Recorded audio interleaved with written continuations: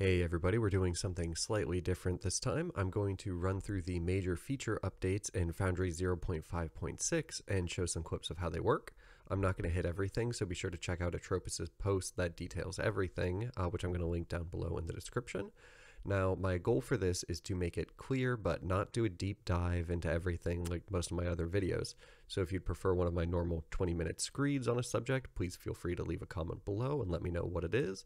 Uh, and I may dive into it later this week or post about it on Twitter or just mess around with it and talk about it in Discord or something. Uh, anyway, for anyone that is new to Foundry, keep in mind that this is an even release. Note the 0.6 at the end of the version number up above. And that means that it's a new feature and code refactor release. And new features and code refactors and just pretty much any work on software means bugs.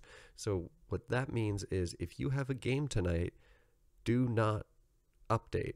There's no shame in waiting for the 0.5, 0.7 release, which should have most of the bugs ironed out and be an overall safer, easier update than this one.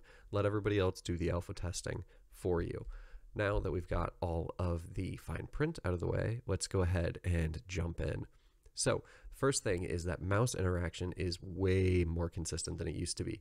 Now you can select not just groups of tokens, but groups of tiles and drawings. And once you've got them selected, you can move them, you can lock them, and you can toggle their visibility in the same way. And you can do all of it uh, when multiple are selected as well. Now, every silver lining needs a cloud, and tiles can't be resized as a group uh, so if that's something that you find yourself needing to do frequently, you're still a little out of luck.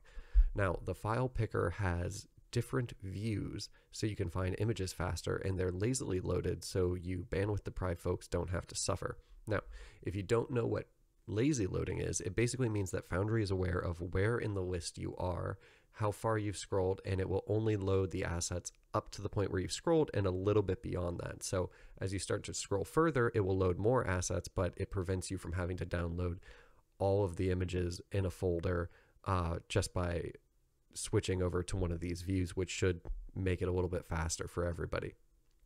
Now, for all of my fellow folder structure obsessives out there, uh, you can now create a directory in the file picker. You better make sure that you want it though, as you can't delete it inside of Foundry. You're going to have to go to the Foundry data folder and delete it yourself manually instead. Uh, keeping with file picking, you can also blacklist paths so your Rascally players can't access them and see that Tarrasque token that you bought. Uh, if you don't like hidden functionality that you have to know a secret incantation to use, then you'll be happy to know that the tracked resource in the combat tracker now has a drop down for choosing what you want to track. If you don't know what the tracked resource in the combat tracker is, you are not alone. It's a kind of hidden bit of functionality that I went over in my Foundry Combat Basics video, but as a quick tip, you can track something like HP or AC or something like that, whatever you want, on a per character basis that will show up next to them in the encounter tracker. Up next are rollable tables, which have gotten a complete facelift, and I won't talk too much about them right now because I've got a video that I've been working on the content for, but I wanted to get this update to come out because I knew there were going to be changes to rollable tables. Uh, but the basics are that rollable tables now return a single card in the chat instead of one for the roll and one for the result, which means you can better control the privacy of a roll and the result.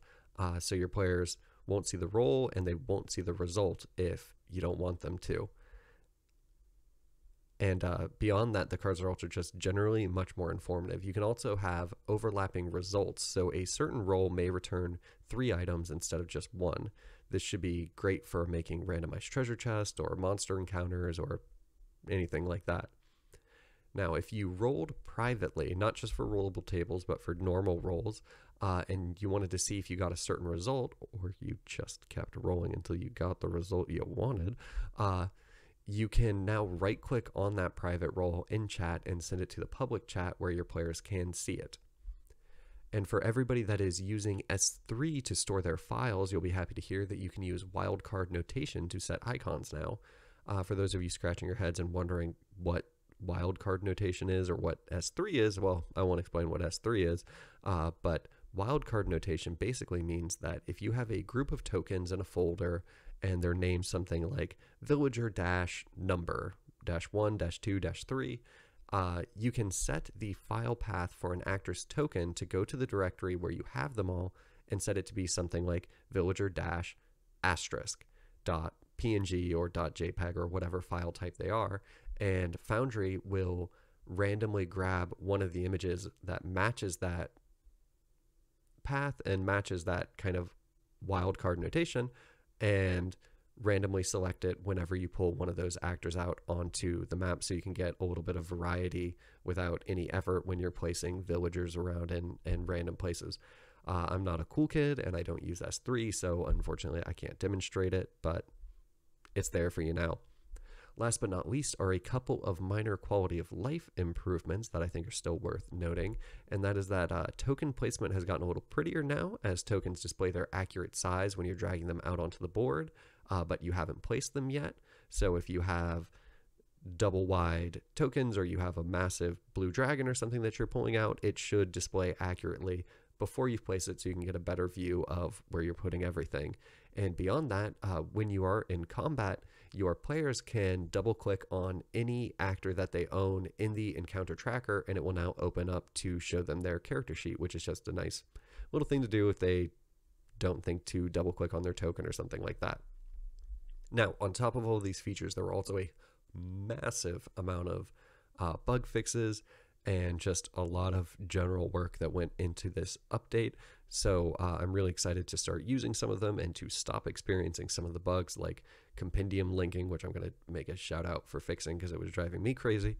Um, and uh, so I'm excited to start using some of these and cover anything that y'all might be interested in. And uh, I hope that we can all make 0.5.7 better. Be sure that you uh, if you experience any bugs, that you post it in the Discord. There's an alpha channel for this update, and uh, hopefully we can make 0.5.7 better together. And uh, I'll catch you in the next one.